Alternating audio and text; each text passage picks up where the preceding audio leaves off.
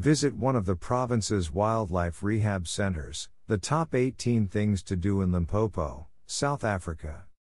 Limpopo is home to several highly respected wildlife rehabilitation centers, two of which are situated in the far south near the Mpumalanga border.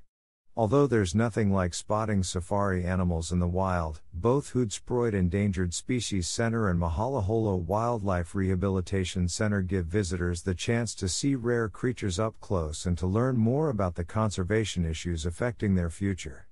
HESC is especially involved in cheetah conservation, while Moholoholo is known for breeding and reintroducing serval cats to the wild. Both offer tours and education programs.